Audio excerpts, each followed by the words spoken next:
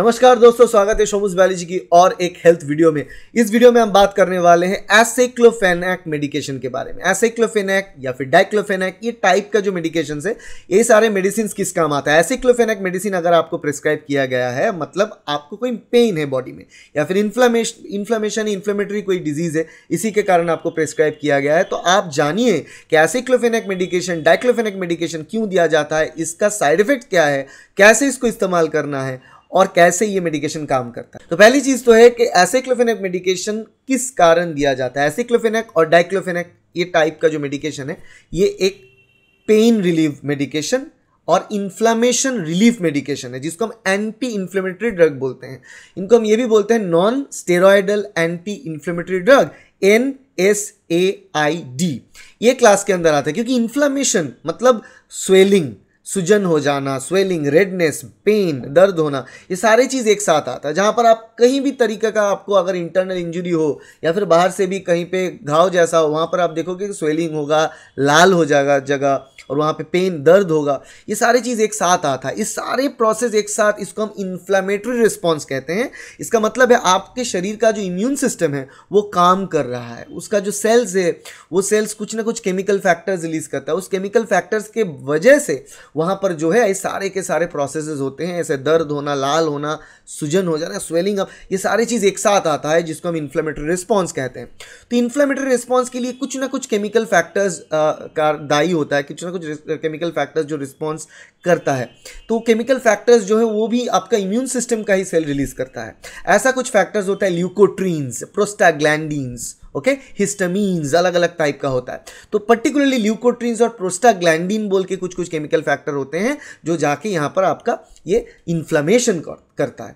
तो एसाइक्लोफेनिक एक ऐसा मेडिकेशन है जो आपके ये इन्फ्लामेशन को घटाता है और ऑटोमेटिकली इन्फ्लामेशन घटाने के मतलब होता है बाहर से देखेंगे तो सिम्टोमेटिक रिलीफ आपको मिलेगा मगर आपके पेन दर्द थोड़ा थोड़ा कम हो जाएगा वहाँ पर जो स्वेलिंग है वो धीरे धीरे कम होता रहेगा और लाल जो हो जाता है जगह वो धीरे धीरे कम होता रहेगा। ये सारी चीज़ आप देख पाएँगे मेडिकेशन लेने के साथ साथ तो लोगों का ये हर वक्त यही बात होता है ना कि जब भी आ, लोग ऐसे देखते हैं कि कुछ ना कुछ प्रॉब्लम आ रहा है ऐसे इन्फ्लेमेशन ऐसे कुछ दर्द। तो पहली बात तो होता है कि आप मेरा दर्द कर, कम कर दो। ऐसे मेडिकेशन जैसे कि दर्द कम हो जाए। तो दर्द कम होने की जो मेडिकेशन से हमारे हाथ में पैरासीटामोल अवेलेबल होता है और ये non steroidal anti inflammatory drug होता है और स्टेरॉयडल एंटी इन्फ्लेमेटरी ड्रग होता है। अब स्टेरॉयडल ड्रग जो है वो तब दिया जाता है जो लाइफ थ्रेटनिंग कंडीशन हो गया, ऐसा इन्फ्लेमेशन हो गया जिससे कि आप सांस नहीं ले पा रहे हो, जहाँ पर जनरली जिसको हम बोलते हैं एनाफाइलैक्टिक कंडीशन तब जाके दिया जाता है, क्योंकि स्टेरॉयड लेना उतना अच्छी बात नहीं होता सेहत के लिए। तो इसी के कारण non steroidal anti inflammatory drug काफ़ी चर्चे में आता है, क्योंकि वहाँ पर ये ड्रग जो है पेन को मॉडरेट से हाई लेवल ऑफ़ पेन को रेगुलेट भी करता है और उसके साथ साथ एंटी इन्फ्लेमेशन प्रॉपर्टी भी इसमें है। अब ये जो ड्रग है, ये एसाइक्लोफेनैक ये कैसे काम करता है? तो क्या एसाइक्लोफेनैक डाइक्लोफेनैक ये जो ड्रग है, ये ड्रग 2000 1992 से अप्रूव किया गया था यूज़ करने के लिए।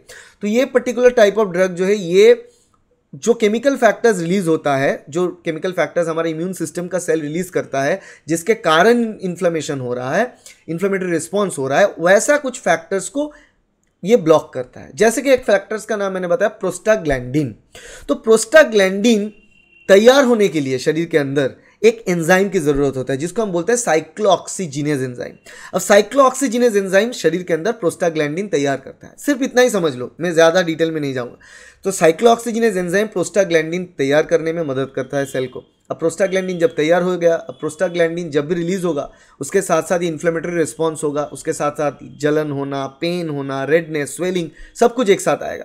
अब इसको प्रिवेंट करने के लिए ही ये एसेक्लोफेनेक मेडिकेशन है, क्योंकि ये साइक्लोऑक्सीजिनेस को इनहिबिट करता है। मतलब ये जो ड्रग है एसाइक्लोफेनेक या फिर डाइक्लोफेनेक ये क्या करता है? बेसिकली ये साइक्लोऑक्सीजिनेस एंजाइम को काम करने से रोकता है। तो साइक्लोऑक्सीजिनेस क्या करता था? प्रोस्टाग्लैंडिन बनाता था। प्रोस्टाग्लैंडिन क्या करता था? इन्फ्लेमेशन और पेन ये सारी चीज़। अब जब प्रोस्टाग्लैंडिन ही तैयार नहीं होगा, क्योंकि साइक्लोऑक्सीजिनेस को इनिबिट इसको ब्लॉक करके रखा है कौन?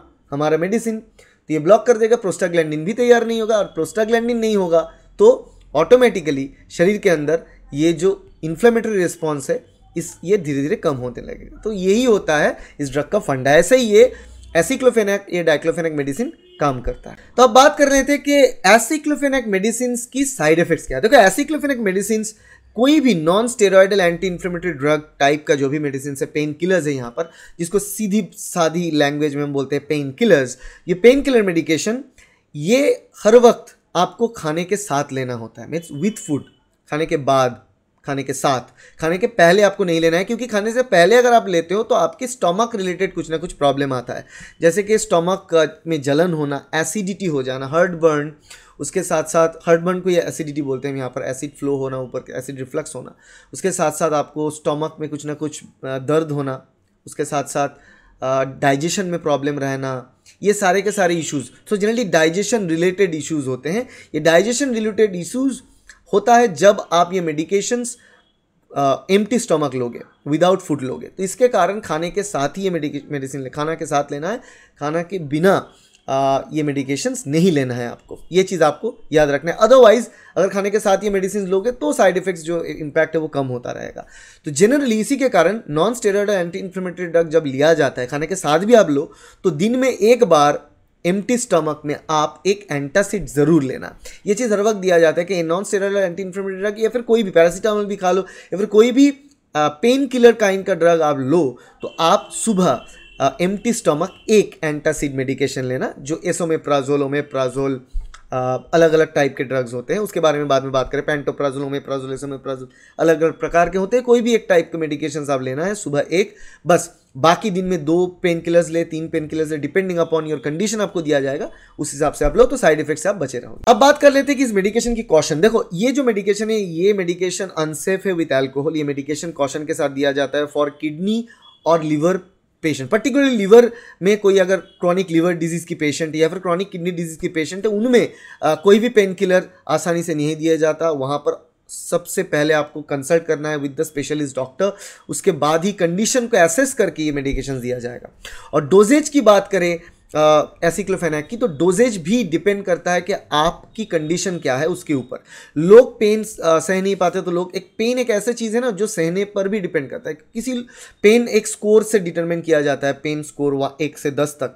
तो किसी इंसान के लिए एक ही चीज़ की, एक ही अमाउंट ऑफ़ पेन के लिए किसी इंसान उसको नाइन आउट ऑफ़ टेन बताएगा। कोई इंसान उसको फाइव आउट ऑफ़ टेन बताएगा। तो उसको ऐसे डिपेंड करता है कि कितना पेन आप ले सकते हो। तो एक्चुअली पेन सेंसिटिविटी की बात होता है, वहाँ पर आपको देखना चाहिए कि कंडीशन क्या है, उस हिसाब से आपको पेन मैनेजमेंट क्योंकि पेन किलर्स अगर ज़्यादा मात्रा में आप लोगे तो आपकी किडनी में सीरियस इंपैक्ट आता है। और लीवर में कोई प्रॉब्लम है या फिर किडनी में कोई प्रॉब्लम है तो बिल्कुल नहीं लेना चाहिए कंट्रोल करना चाहिए पेन को दूसरी तरीके से। कोई भी अदर विदाउट मेडिकेशन आपको ट्रीटमेंट में फोकस करना चाहिए, जैसे कि कोई भी पेन मैनेजमेंट अलग अलग थेरेपी होता है हमारे पास। तो फ़िज़िकल थेरेपी में वो ऑप्शन है लेज़र थेरेपी में वो ऑप्शन है, जिससे कि हम पेन को काफ़ी हद तक रिड्यूस कर सकते हैं। इन्फ्लेमेशन को तो विद इन फाइव मिनट्स बहुत अच्छे तरीके से डाउन कर सकते हो with the help of class four laser therapy जिसके लिए अलग अलग वीडियो इस चैनल पर अवेलेबल करवाएँगे। दूसरे चैनल पर भी हम अपलोड करते हैं, आप दे सकते हो। तो ये बात होता है पेन मैनेजमेंट एक टोटली अलग पार्ट है, मगर थोड़ा बहुत लेना, एक दो ठीक है, मगर उसके बाद ज़्यादा मात्रा में लेना यहाँ पर आपके किडनी के लिए और लिवर के लिए कंप्लीटली ये खराब साबित हो सकता है। और एक चीज़ आपको बताना है, अगर आप पेन किलर मेडिकेशन पे हो, ज़्यादा पेन किलर ले रहे हो तो वहाँ पर आपको adequate amount of water plenty of water लेना है लिक्विड लेना है बॉडी में। ज़्यादा पानी पीना है ठीक अमाउंट में, पानी या फिर लिक्विड जो कंटेंट आप पी रहे हो। अगर आपको कॉफ़ी चलता है तो पेन किलर के तौर पर कॉफ़ी बहुत अच्छा काम करता है तो आप मेडिसिन को डाउन करके कॉफ़ी ले सकते हो। अगर कॉफ़ी आपको चलता है तो सारे सिचुएशन में तो आप कॉफ़ी भी पी सकते हो, वहाँ पे पेन में थोड़ा बहुत मदद मिलता है। Particularly in pain of migraine in pain of head एक यहाँ पे काम आता है। तो अब बात करते हैं कि एसिक्लोफेनेक डाइक्लोफेनेक मेडिकेशन कब दिया जाता है किस किस बीमारी में। देखो, ये एक पेन किलर मेडिकेशन है तो पेन किलर मतलब कोई ना कोई पेन को डिक्रीज करने के लिए दिया जाएगा। वेरियस अलग अलग टाइप की पेन को रिड्यूस करने के लिए एसिक्लोफेनेक दिया जाता है। जनरली अगर पेन बहुत कम है तो पैरासीटामोल दिया जाता है। क्योंकि पैरासीटामोल एंटी पेन मतलब एनाल्जेसिक है, उसके साथ साथ एंटीपायरिक और फीवर को भी रिड्यूस करता है, बुखार को भी घटाता है तो दोनों कारण यूज़ किया जाता है। मगर pain killer paracetamol as a pain killer थोड़ा कम पेन से लेकर मॉडरेट पेन को डील करता है। ऐसे क्लोफेनट मॉडरेट से लेकर हाई पेन को डील करेगा। तो वहाँ पर आपको दिया जाएगा। मगर ये पेन किलर जो है जनरली कुछ कॉम्प्लिकेटेड कंडीशंस जैसे कि इन्फ्लामेटरी पेन फुल डिज़ीज़ जो होता है, जैसे कि रिमोटाइड आर्थराइटिस हो गया ठीक है? रोमोटाइड आर्थराइटिस जो एक इम्यून ऑटो इम्यून डिज़ीज़ है उसमें भी इन्फ्लेमेशन होता है दर्द होता है वहाँ पे दिया जाता है। और ऑस्टियोआर्थराइटिस में दिया जाता है। और ये एंकाइलोजिंग स्पॉन्डाइलिटिस में भी दिया जाता है। तो अलग अलग टाइप के कॉम्प्लिकेटेड इन्फ्लेमेटरी डिज़ीज़ में ये एसिक्लोफेनिक मेडिकेशन दिया जाता है। अब कुछ कुछ मेडिकेशन ऐसे भी आपको मिलेंगे जहाँ पर आपको आ, दो चीज़ एक साथ पैरासीटामोल और एसिक्लोफेनिक एक साथ मिलेगा। तो कॉम्बिनेशन ट्रीटमेंट भी दिया जाता है बहुत सारे मेडिकेशंस में।